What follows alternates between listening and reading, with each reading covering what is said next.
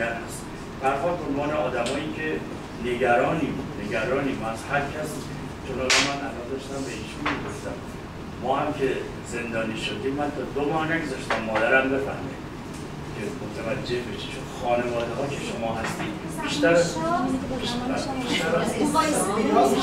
می‌خوام بگم اصولا خانواده زندانی بودن خودش سختتر میگذره تا زندانی. من این رو دارم بیان می‌کنم.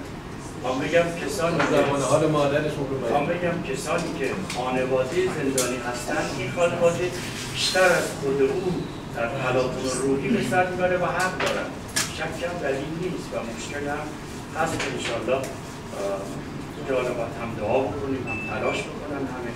حالا کسانی که بزرگان قوم قبلای قوم هستن بشینن فکر بکنن و راه های مناسبی رو بیاندیشن که انشالله به کل این مسئله پایان داده بشه و پایان